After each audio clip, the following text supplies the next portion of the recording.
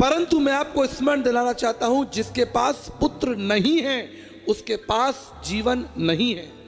यह कठोर बात है और सत्य है। भारतीय दर्शन में लिखा है, ब्रह्म सत्य, जगत मिथ्या, परमेश्वर सत्य है। शब्दों शब्दाक्षर परम ब्रह्मा, शब्दों शब्दाक्षर परम सत्या। वो परमेश्वर जिसके मुँह से वचन निकलता है, वो सत्य है अटल है, सनातन है और सब प्राणियों के लिए। परमेश्वर किसी का पक्षपात नहीं करता। वो चेहरा नहीं देखता, अच्छे कपड़े पहने हैं, सुंदर लग रहे हो, धनवान हो, बड़े ज्ञानी हो, कहाँ से आए हो? जापान से आए हो? अच्छा अच्छा यहाँ बैठो। ऐसा नहीं है। तुम गरीब हो, रिक्शा चलाते हो, चलो उधर बैठो। उसका द्वार सब प्राणियों के लिए खुला है। हर भाषा के लोगों के लिए। उसका संदेश सारी पृथ्वी के लिए है। और उसका संदेश स्पष्ट है क्लियर है। नो डाउट नो कंफ्यूजन जिसके पास पुत्र है, उसके पास जीवन है, और जिसके पास पुत्र नहीं है, वो जीवन को नहीं देखेगा। चाहे आप कोई भी हो। आप ज्ञानी हो आप अधिकारी हो, आप राजा हो, आप संसार के सबसे धनवान व्यक्ति हो, अगर आपके पास प्रभु यीशु नहीं है, आप उस अनंत काल के जीवन में प्रवेश नहीं कर सकते। सुन लीजिए, चाहे आप इस पंडाल में उपस्थित हो, या इस वीडियो के माध्यम से इस संदेश को आप कभी बाद में सुने, अगर आपके पास परमेश्वर का पुत्र यीशु नहीं है, आप जीवन को नहीं देखेंगे। यह आपके लिए अंत होगा। लेकिन हमारे पास एक आशा है कि जिसके पास परमेश्वर का पुत्र अर्थात यीशु मसीह है, उसके लिए जीवन होगा। मेरे प्रियो, इस रहस्य को मैं आज आपके साथ साझा करूँगा। What is the meaning to have the son of God इसका अर्थ क्या है? इसका भाव क्या है? इसके पीछे कौन सा रहस्य छिपा है कि जिसके पास परमेश्वर का पुत्र है, उसके पास जीवन होगा? मेरे प्रियो, आप दो परिस्थितियों पर दृष्टि कीजिए।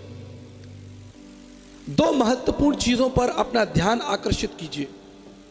इससे कोई फ़र्क नहीं पड़ता कि अगर आपको बाइबल का बहुत अधिक ज्ञान नहीं है तो भी कोई बात नहीं। दो चीज़ें आपको समझनी है। साधारण चीज़ें आपको समझनी है। और वो क्या है? पहली चीज़ जो आपको जाननी है कि परमेश्वर सामर्थ्य है, सर्वज्ञानी है, अटल और अगम्य है। ये परमेश्वर के बारे में है। उस संसार को अपनी बुद्धि से, अपने शब्दों से बना दिया। वो प्रतापी परमेश्वर है। उसके आगे कोई खड़ा नहीं हो सकता। कोई उससे बहस के, बहस करके, लड़के, युद्ध करके परमेश्वर से जीत नहीं सकता। क्या कोई परमेश्वर का सामना कर सकता है? इससे कोई फ़र्क नहीं पड़ता आप किस जाति के हैं, समाज के हैं, और आपके पास कितनी ताकत है, कितनी तोप है, टैंकर है आपके पास। कितने बम है, कितने हथियार हैं, आप परमेश्वर का सामना नहीं कर सकते। उसका प्रताप इतना भयंकर है कि अगर वो सूर्य के प्रकाश को भी थोड़ा बढ़ा दे तो आप जलकर मर जाएँगे। उसे कुछ करने की ज़रूरत ही नहीं होगी। He will just order the sun इस सूर्य से कहेगा, भैया 50 डिग्री आगे बढ़ो। अभी टेम्परेचर क्या है? शायद 34 तो होगा 35 तो होगा 30 प्लस होगा। परमेश्वर को कोई शस्त्र नहीं उठाना। आपको मारने के लिए कोई शस्त्र नहीं उठाना। उससे बस इतना कहना है सूर्य 50 डिग्री आगे बढ़ो, बस। और सारी सल्तनत, आपकी बुद्धि, आपकी योग्यताएँ, आपके हथियार, आपका वैभव, आपकी ताकत, क्षमताएँ सब नष्ट हो जाएँगी। ये सूर्य आपको खा जाएगा। इतना प्रतापी परमेश्वर है। इतना सामर्थ्य परमेश्वर है।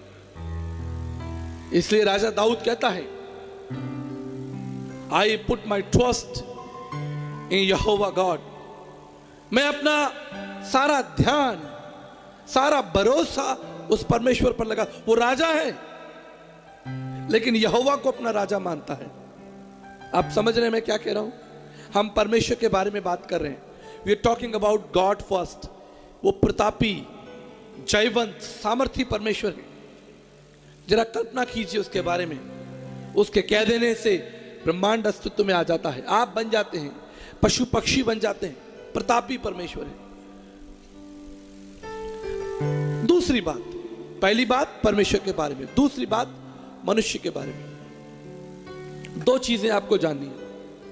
सारा रहस्य आपको समझ में आ जाएगा। मनुष्य क्या है? क्या है मनुष्य? अगर आप इसे दार्शनिक दृष्टि से देखें फिलोसफिकल दार्शनिक तो मनुष्य इस पृथ्वी पर, इस ब्रह्मांड में कीड़े के समान है। कुछ नहीं। क्या आपके अंदर कोई सामर्थ्य है? अगर कोई सोचता है कि मैं बुद्धिमान हूँ तो वो मूर्ख है। अगर कोई सोचता है कि मैं महान हूँ तो कितने महान लोगों की कब्र जो है वो हमारे हिंदुस्तान में है। मैं विश्व की बात ही नहीं कर रहा, सिर्फ़ हिंदुस्तान की बात कर रहा हूँ।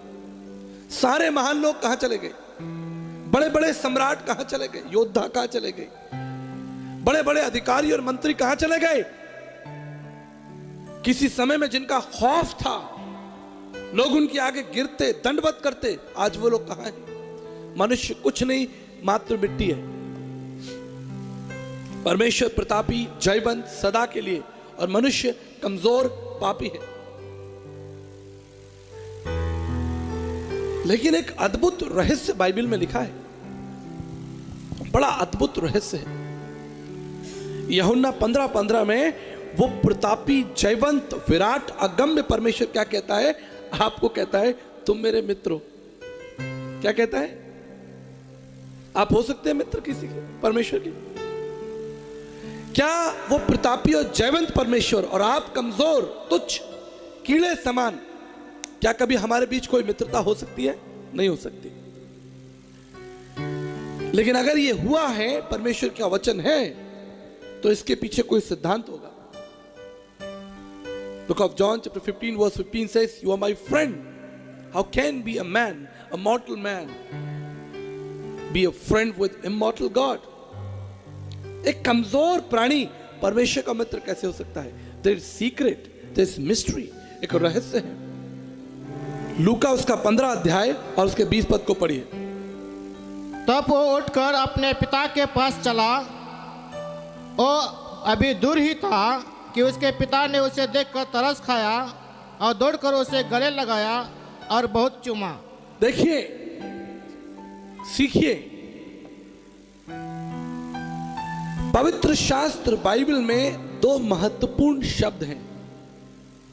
जिस तरह सिक्के के दो पहलू होते हैं, इस तरह दो महत्वपूर्ण शब्द हैं, विचार हैं। पहला विचार है पुनरुत्थान। आप कल्पना कीजिए कि अगर बाइबल के अंदर सारी सुंदर कहानियाँ होती और सिद्धांत लिखे होते यीशु ने ये किया, यीशु ने वो किया, यहाँ गए, वहाँ गए। लेकिन अगर पुनरुत्थान शब्द बाइबल में नहीं होता तो हमारी आशा क्या होती? कोई आशा होती? हमारी भक्ति का कोई लक्ष्य होता, कोई कारण होता? हम सब अपने अपराधों में, अपने अधर्म, अपने पापों में मर जाते और सब कुछ खत्म हो जाता। परंतु पुनरुत्थान शब्द the word resurrection is the most powerful word in the Bible लेकिन आज हम उस पर बहुत ज़्यादा चर्चा नहीं करेंगे। उसके विषय में आप जानते हैं। और जो दूसरा शब्द है, जो आपको परमेश्वर के निकट ले आता है, या कहें कि परमेश्वर हमारे निकट आता है, वो शब्द है, तरस द कंपैशन अगर पवित्र शास्त्र बाइबल में ये शब्द ना हो, तरस शब्द ना हो तो आप परमेश्वर की आराधना नहीं कर सकते, आप उसके गीत नहीं गा सकते, आप उसके निकट नहीं आ सकते, आप उसे जान नहीं सकते, आप उसकी भक्ति नहीं कर सकते। There is no hope if there is no compassion in the Bible if there is no compassion there is no hope बड़ा रहस्यमय शब्द है ये। बहुत रहस्यमय शब्द कि उस पिता ने अपने पुत्र के ऊपर तरस खाया। पिता धनवान है, अभी भी धनवान है। पैसा देने के बाद भी ले गया बेटा, कोई बात नहीं, अभी भी पिता धनवान है। अभी भी पिता सामर्थ्य है। अभी भी पिता राजमहल के अंदर रहता है। अभी भी पिता के साथ बहुत से कर्मचारी काम करते हैं। अभी भी पिता का जो वैभव है, वो खत्म नहीं हुआ। अभी भी पिता का जो शौर्य है, वो बाकी है। खत्म किसका हुआ?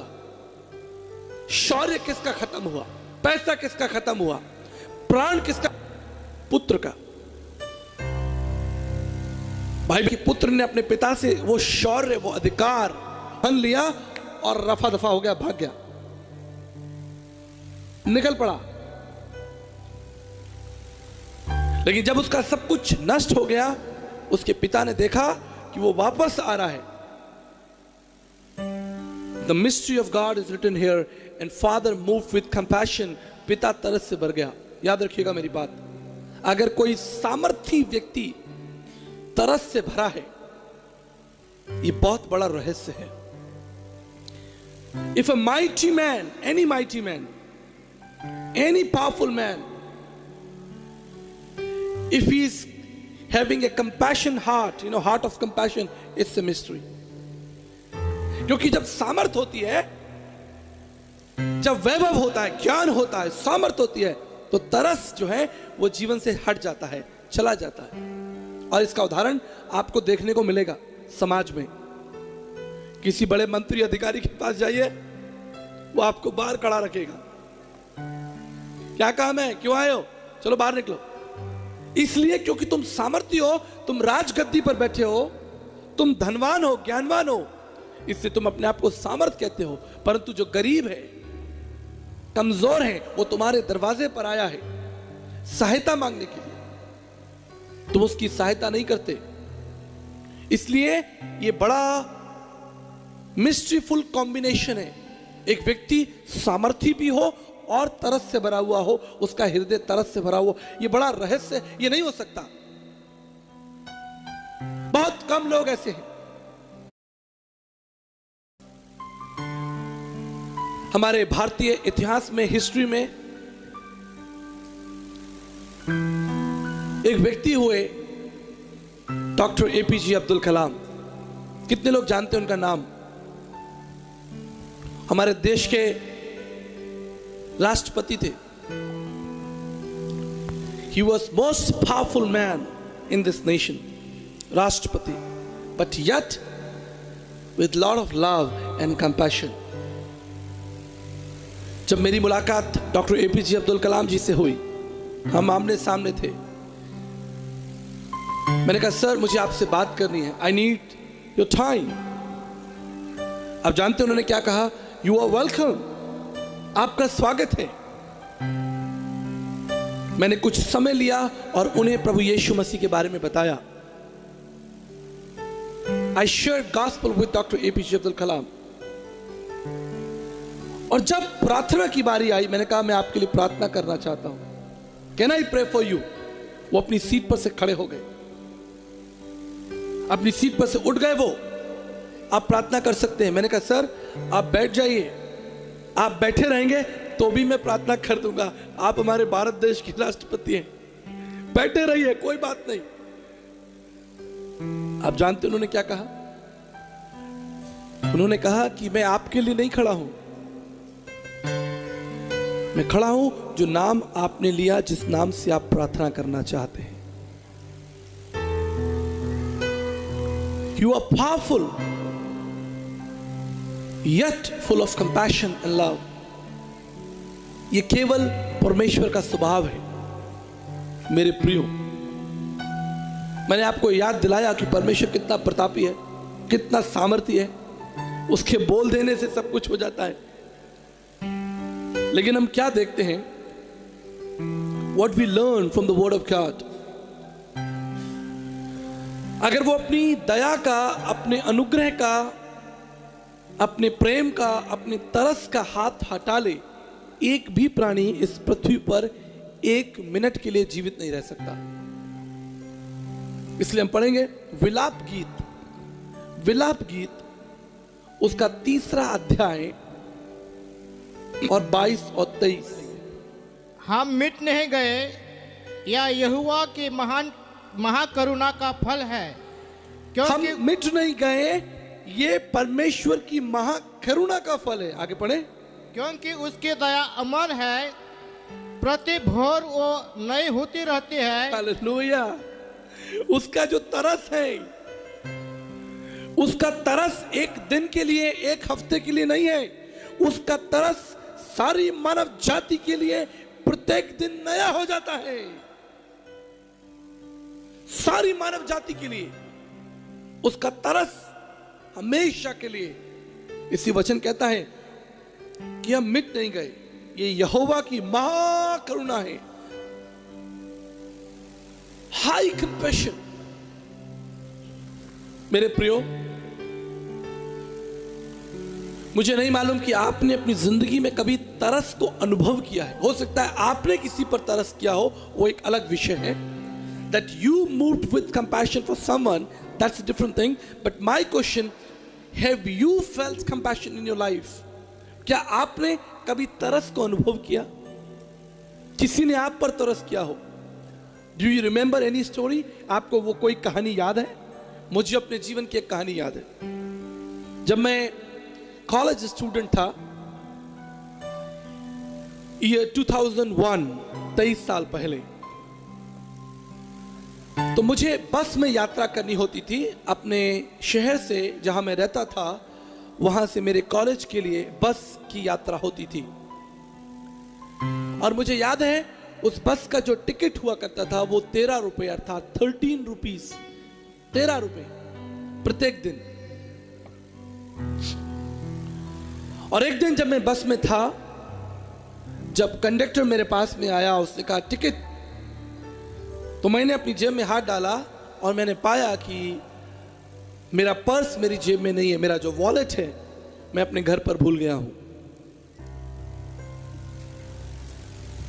और मुझे बड़ी निराशा हुई। उस कंडक्टर ने मुझसे कहा कि अगर आप आगे यात्रा करना चाहते हैं तो आपको तेरह रुपए देने होंगे, नहीं तो आप यहीं उतर जाइए। ये हाईवे था, गर्मी के दिन थे, मई, जून का महीना था, लू चल रही थी, गर्मी हवा चल रही थी। और अंततः मुझे बस से नीचे उतरना पड़ा। मेरा हृदय टूट गया, मेरे मन में दुख। मैं कह सकता हूँ कि एक निराशा, एक अपमान मेरे हृदय में आया कि अरे, मैं यात्रा नहीं कर सकता क्योंकि मेरे पास तेरह रुपए नहीं है। तेरह रुपए होगी तो यात्रा होगी।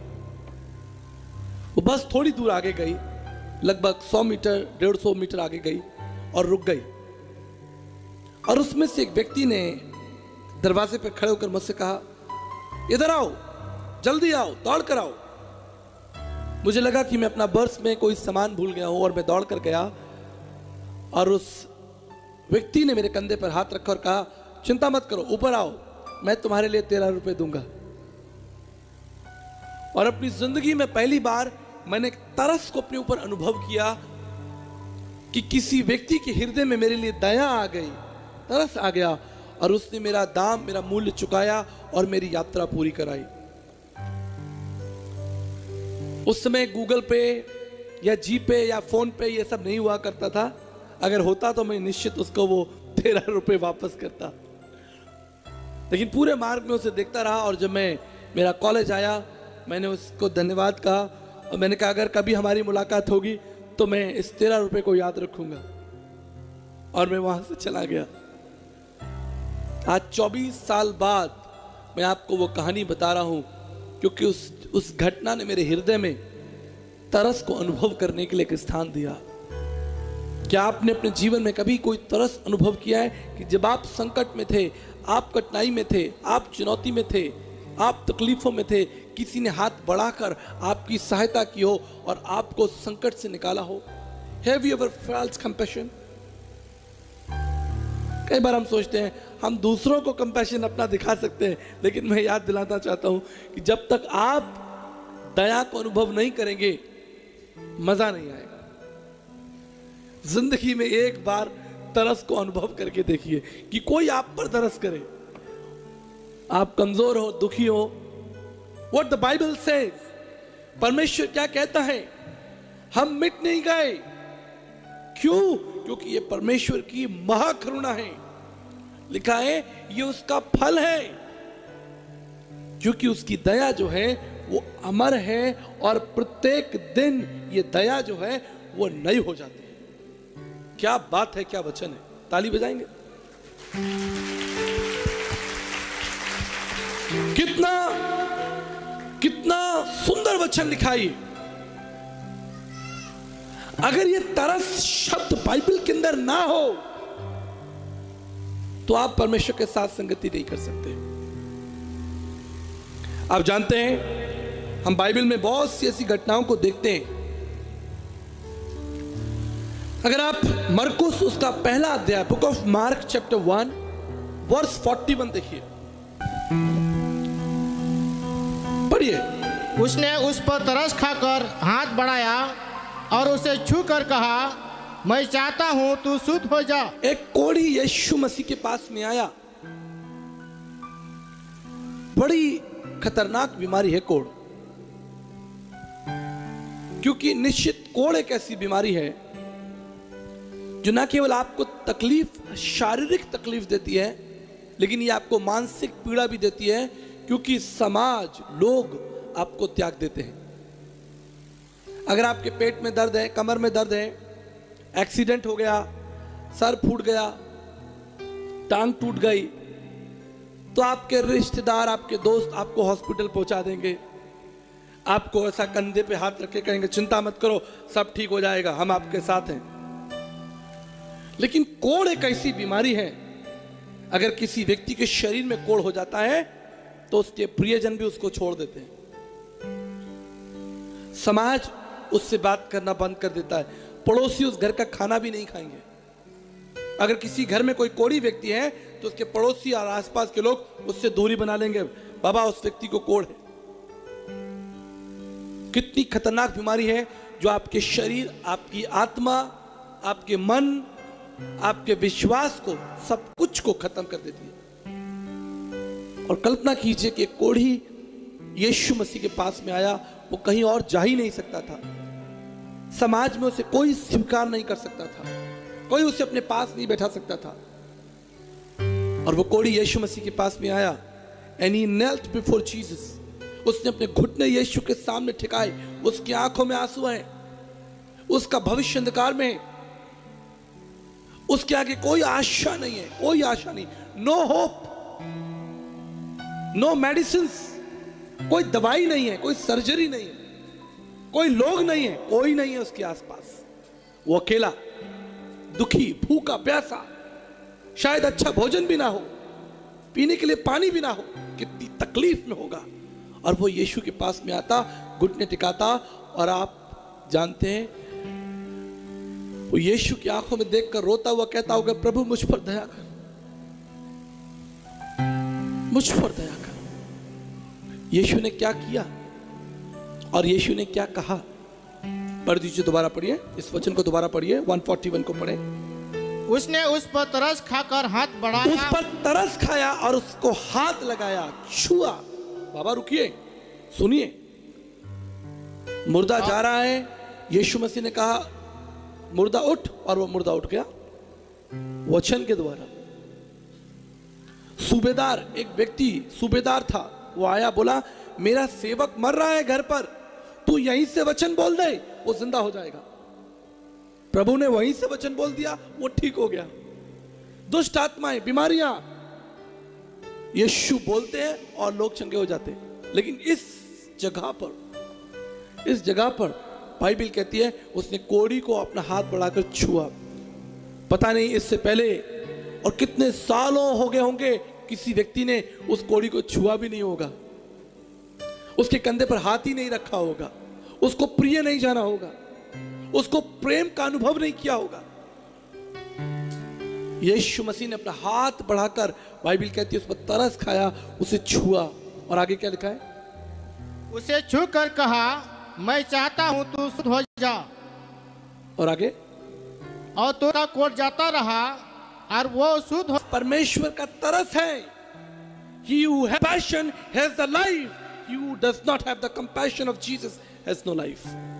जिसके पास पुत्र है, अर्थात जिसके पास परमेश्वर का तरस है, उसके पास जीवन है। अगर आपके पास परमेश्वर के पुत्र प्रभु यीशु मसीह का तरस है if you receive his compassion अगर आप उससे उसका तरस मांग ले, वो आपको जयवंत कर देगा। कई बार हम उससे बहुत कुछ मांगते हैं। But I teach people look for the compassion of God don't be over smart बुद्धिमान मत बने। परमेश्वर के सामने घमंडी ना बने। परमेश्वर को यह प्रतीत ना कराएँ यह प्रकट ना कराएँ कि आप बहुत शानदार व्यक्ति हैं। आप बहुत महान व्यक्ति हैं। याद रखिए, अगर आप परमेश्वर के तरस को प्राप्त करना चाहते हैं केवल एक ही मार्ग है, जब यीशु मसीह ने कहा, मार्ग मैं हूँ। कई बार इस पर बहस होती है। बड़े बड़े थियोलॉजियन और दूसरे धर्मशास्त्री इस पर बहस करते हैं कि यीशु मसीह एकमात्र मार्ग कैसे हो सकता है?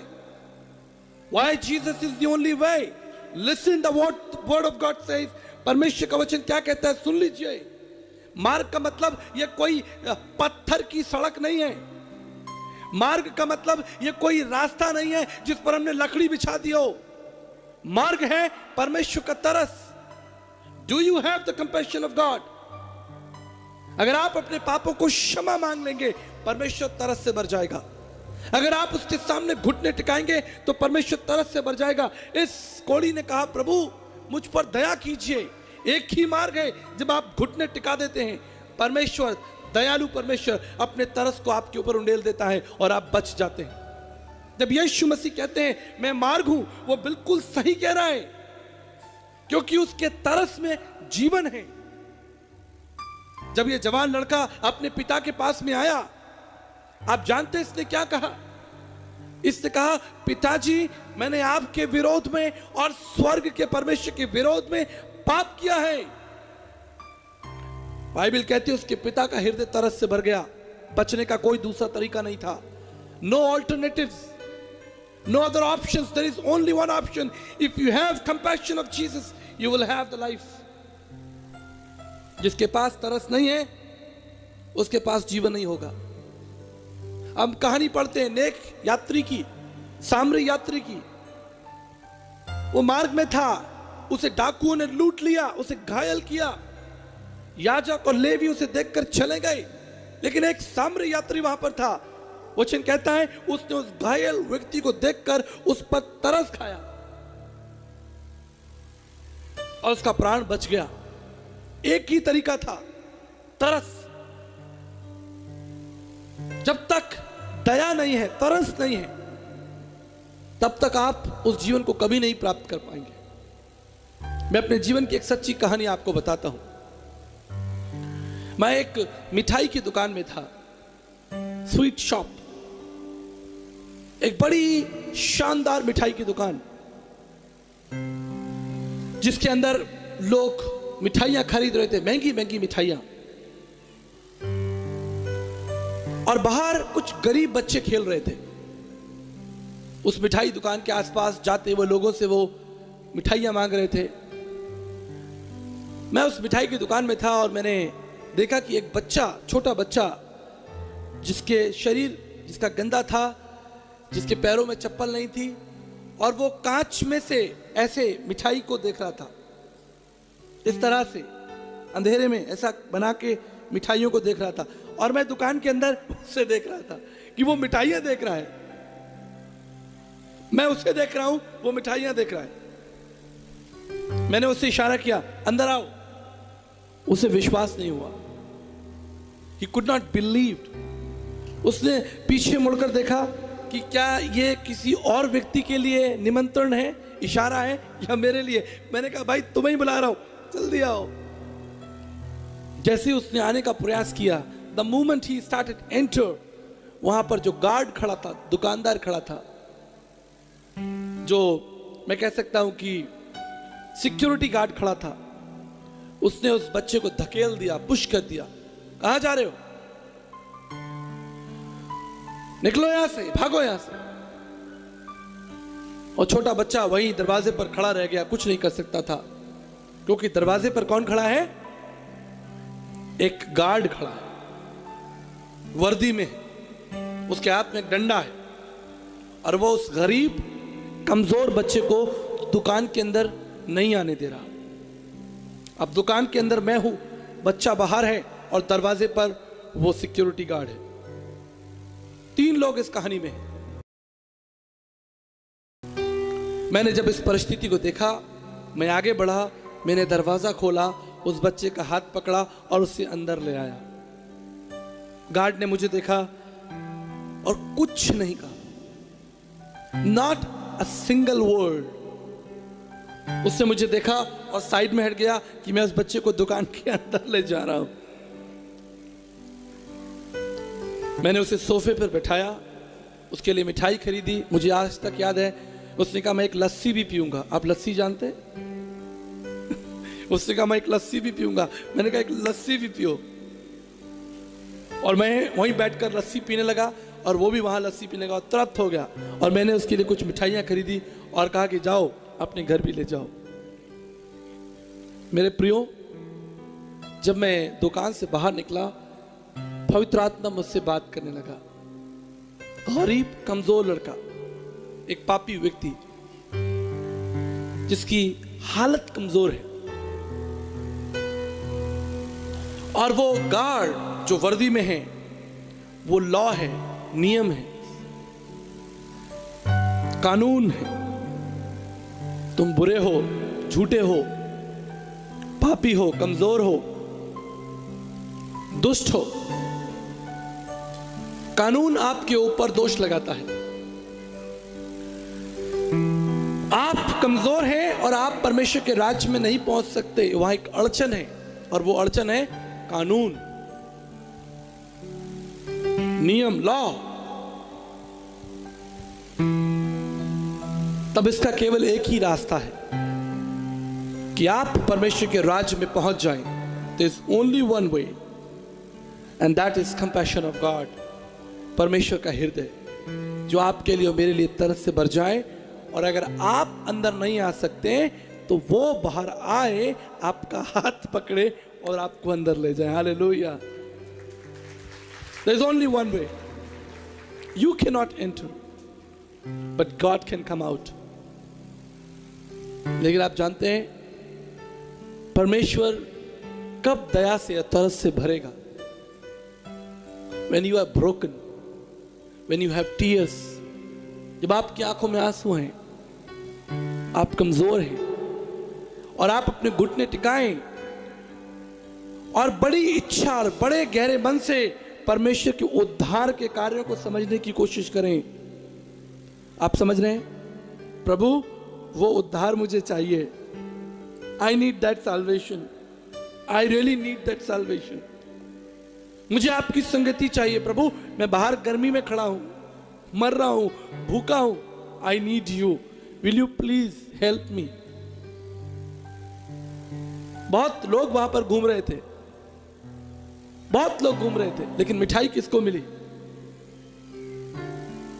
जो सही पोजीशन में खड़ा था, तैयार था। जो इधर उधर घूम रहे थे, उन्हें कुछ नहीं मिला। Lot of people in the world संसार में लोग इधर उधर घूम रहे हैं मस्ती कर रहे हैं लेकिन याद रखिए अगर आप सच्चे हृदय से उस परमेश्वर को ढूंढेंगे तो परमेश्वर का वचन हमें सिखाता है यू नो परमेश्वर का वचन हमें सिखाता है कि उसने स्वर्ग से मनुष्यों पर दृष्टि की भजन संहिता चौदह book of Psalm chapter 14 verse two पढ़ लीजिए भजन संहिता चौदह उसका दूसरा अध्याय पढ़िए पद पढ़िए। परमेश्वर ने स्वर्ग में से मनुष्यों पर दृष्टि की। परमेश्वर ने स्वर्ग में से सब मनुष्यों पर दृष्टि की पूरी पृथ्वी पर। चीन Japan Africa America Bharat England Poland Sweden Sri Lanka Japan सब पर दृष्टि की। और आगे क्या लिखा है? कि देखे कि कोई बुद्धिमान कोई परमेश्वर का खोज है या नहीं। जितने लोग उसे खोज रहे हैं उसे वो मिल रहा है। हाले लोहिया बोल दीजिए। जितने लोग उसे ढूंढ रहे हैं, उनको मिल रहा है। स्वर्ग से परमेश्वर ने दृष्टि की, एक बुद्धिमान मिल जाए तो मैं उसको मिल जाऊँगा। अगर आप परमेश्वर को ढूंढ रहे हैं तो आप परमेश्वर को प्राप्त कर लेंगे। आप जानते हैं क्यों? क्योंकि ये परमेश्वर चाहता है कि आप उसके तरस को, उसके पुत्र को प्राप्त करें। ये केवल आपकी इच्छा नहीं है, लेकिन ये परमेश्वर की इच्छा है। कि लोग मुझे ढूंढें और पाएँ और आप याद रखिए जब मैं संदेश को विराम देना चाहता हूँ। Book of Matthew chapter nine verse 36 very powerful verse बहुत ही सामर्थ्य वचन। अंडरलाइन कर लीजिए। लाल पीला कर लीजिए इस पर। लिख लीजिए highlighter Matthew nine chapter 36 and God Jesus move with compassion बड़ी भीड़ को देखा। जब उसने भीड़ को देखा तो दिस इज़ द वर्ड जब उसने एक बड़ी भीड़ को देखा तो उसको लोगों पर तरस आया। हालेलुया ये देखिए प्रतापी परमेश्वर सामर्थी परमेश्वर बड़ी भीड़ को देखकर तरस से भर रहा है। लेकिन याद रखिएगा उसका तरस वही ठहरेगा जो उसे प्राप्त करना चाहता है। उसका तरस उसी को मिलेगा जो आगे बढ़कर उस कोड़ी के समान अपने घुटने टेके और कहे कि, प्रभु Lord I need that compassion प्रभु, मुझे आपकी आवश्यकता है। बारिश हो रही है, प्रकाश हो रहा है, लेकिन अगर आप अपने आप को दरवाजे में बंद कर लें, एक कमरे में बंद कर लें, ये सूर्य का प्रकाश आप तक नहीं पहुँच सकता, क्योंकि आपने अपने आप को अंधकार में बंद कर लिया है, एक दरवाजे के अंदर बंद कर लिया है। लेकिन जब दरवाज़ा खोलकर आप मैदान में आएँगे, ये सूर्य का प्रकाश आपको शक्ति देगा। ऊर्जा देगा। आज बहुत से लोग कहते हैं, हमारे जीवन में परमेश्वर का कोई काम नहीं हो रहा। हम प्रार्थना कर रहे हैं। हमारे जीवन में परमेश्वर का काम नहीं हो रहा। Have you nail down like this leper क्या आपने इस कोड़ी के समान अपने आप को, क्या आपने इस जवान लड़के के समान प्रभु से कहा कि प्रभु, मैं उठकर आपके पास आना चाहता हूँ? बाइबल कहती है, उसका पिता तरस से भर गया। मेरे प्रियो जब मैं अपने संदेश को समाप्त करना चाहता हूँ, आपको तरस का एक बहुत सामर्थ्य उदाहरण दूँगा और आपके लिए प्रार्थना करूँगा। What is compassion and what compassion can do let me explain you तरस क्या है और ये तरस क्या कर सकता है, इसका मैं आपको एक उदाहरण देना चाहता हूँ। आपने लकड़ी के क्रूस को देखा होगा। हज़ारों सालों से ये लकड़ी, ये क्रूस लोगों के लिए मृत्यु का साधन था। इस पर बड़े बड़े अपराधियों को लटकाकर मार दिया जाता था। Cross was sign of death and pain and suffering लोग क्रॉस को देखते और डर के भाग जाते। कोई क्रूस को छूना नहीं चाहता कोई क्रूस के पास नहीं आना चाहता। लोग दूर से क्रूस को देखते और भाग जाते। Of death, a sign of pain and suffering. मृत्यु पीड़ा दर्द और अपमान का चिन्ह था। ना जाने इस क्रूस ने कितने लोगों के प्राण ले लिए होंगे। कितने लोग इस क्रूस पर चढ़कर मर गए होंगे। Thousands of people in Romans time लेकिन एक दिन, ये क्रूस दयालु प्रभु यीशु मसीह के हाथों में आ गए। दयालु प्रभु Yeshu Masih. A God who is having compassion in his heart. Bible कहती है कि जैसे यीशु ने इस कोड़ी को छुआ, उसका कोड़ खत्म हो गया। ठीक इसी तरह, यीशु मसीह ने क्रूस को छुआ। He touched, they become one और क्रूस का इतिहास बदल गया। अब कोई क्रूस से डरता नहीं। अब क्रूस को देखकर कोई भागता नहीं अब लोग नहीं कहते कि ये मृत्यु का और पीड़ा का और मृत्यु का चिन्ह है अब लोग उसे शांति का चिन्ह कहते हैं उसे प्रेम का चिन्ह कहते हैं It's no more sign of death, pain and suffering. It's a sign of love, hope and compassion and future.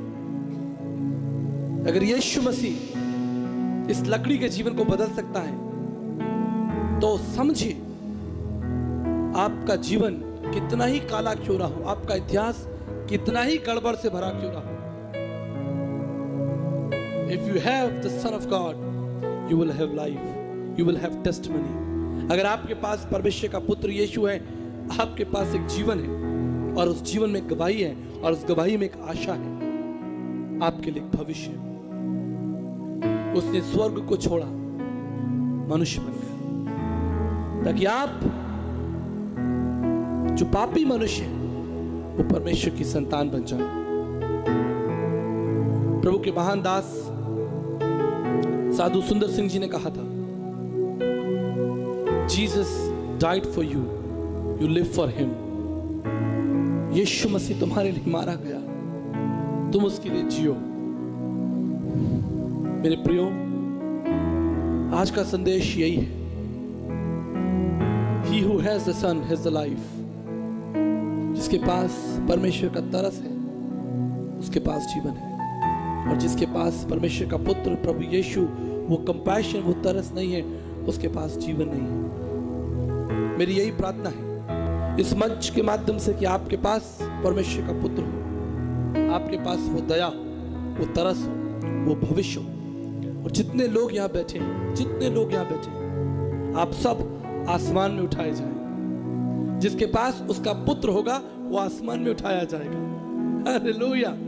जिसके पास उसका तरस होगा, वो खींच लिया जाएगा। स्वर्गदूत उसको उठा लेंगे। जिस तरह यहूदियों के दरवाजे पर वो चिन्ह लगा था, मृत्यु के फरिश्ते आए, उन्होंने देखा अच्छा ये प्रभु का चिन्ह है। चलो आगे बढ़ो, इन्हें छोड़ दो।